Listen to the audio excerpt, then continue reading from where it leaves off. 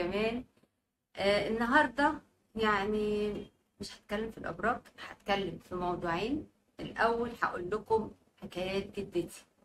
حكاية جدتي النهارده حكاية يعني غريبة شوية بس هي اللي بيحصل في مجتمعنا دلوقتي وهي الحكاية كلها.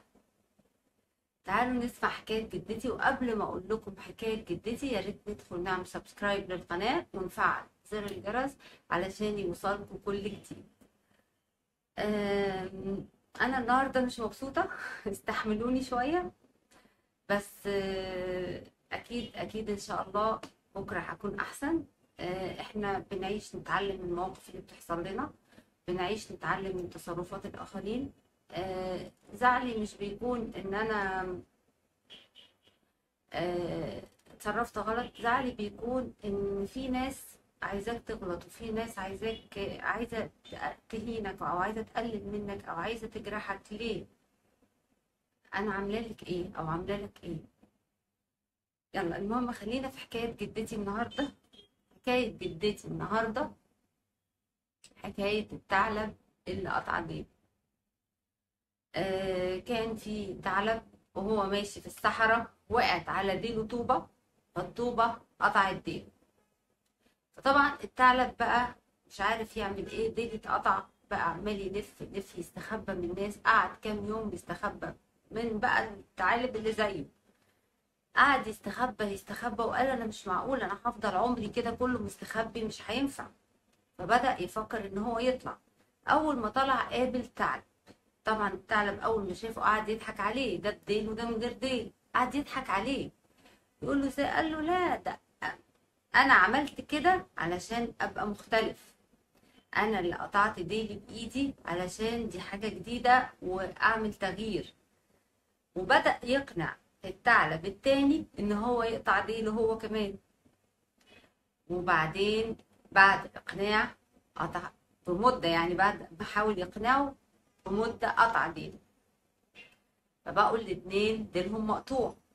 عدى عليهم ثعلب تالت قالوا له انت إزاي سايب ديلك ده إحنا دلوقتي كل الديول كلها مش حلوة وما بت...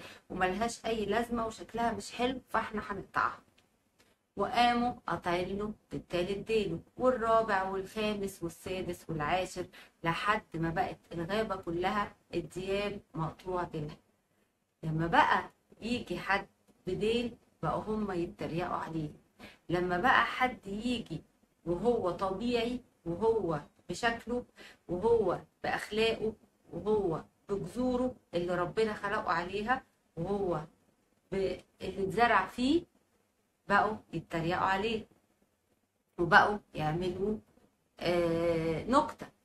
فبدأ كل ما حد يعدي عليهم يخلوه يعمل زيهم.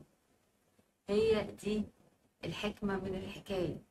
إن أنت بقيت عايش في الدنيا دلوقتي لو ما عملتش زي اللي حواليك أو أنت بقيت آه ماشي على جذورك وعلى أخلاقك وعلى طريقتك وعلى حياتك اللي اتربيت عليها وعلى مبادئك وعلى وعلى بتبقى أنت اللي شخص غريب.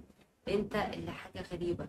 محدش يقطع جذوره يا جماعة. محدش يقطع أصله. محدش يقطع ثقته بالله. محدش يقطع أمله في الله ابدا. امسكوا في كل حاجة حلوة في حياتكم. حتى لو حصل لكم حاجة مصير الدنيا هتتعدل وهتروق وهتحلى أنا بشوف حاجات دلوقتي بشوف شباب صغير بجد حالته تحزن. بشوف بنات صغيرين جدا جدا قاعدين في الكافيهات وبيشيشوا وبيشربوا. أنا مش قادرة أقول لكم آه، أنا شفت بنات 12 سنة و14 سنة. عاملين إزاي؟ قلبي وجعني. أنتوا بتقلدوا مين؟ أنتوا بتقلدوا مين؟ أنتوا كده هتقطعوا ديولكم كلها وكله بيقلد بعضه. الأهالي خلي بالكم على أولادكم خلي بالكم على أولادكم. شوفوا ولادكم بيروحوا فين. أنا كان قاعد قدامي بنت ماسكة التليفون كل شوية يو مامي وتقوم قلبة التليفون. بنت عندها 13 سنة. مامتها اتصلت أنا بقيت قاعدة متابعة هي مامتها بتتصل كام مرة؟ مامتها متصلة فوق العشر مرات. وهي قاعدة مع ولد عمالة تضحك وتهزر ومش عايزة ترد. وتفتح التليفون مامي! وتقوم قلبة التليفون. أنا قاعدة جنبهم وسامعة. ده مش مجتمعنا ولا دي أخلاقنا ولا دي جذورنا. إحنا ليه بنقطع جذورنا؟ بجد ليه؟ فين التربية؟ وفين البيت؟ وفين الأم؟ وفين؟ لما نلاقي دلوقتي النايت كلابس مليانة من 15 سنة وطالع. ليه؟ لما نلاقي بنات في السن ده بتشرب خمرة ليه؟ ليه؟ إيه اللي بيحصل؟ نفسي حد بقى يقول لي المجتمع إيه اللي حصل فيه. يا ريت يا ريت يا ريت حكاية جدتي دي تكون فايدة لحد ويا ريت ناخد بالنا كويس قوي. ولادنا بيروحوا فين؟ بيقعدوا مع مين؟ الصحاب. إحنا كانت جدتي أهم حاجة عندها الصحاب. كانت دايما تقول لي التفاحة البايظة بتبوظ بقية الصندوق. التفاحة البايظة بتبوظ بقية الصندوق.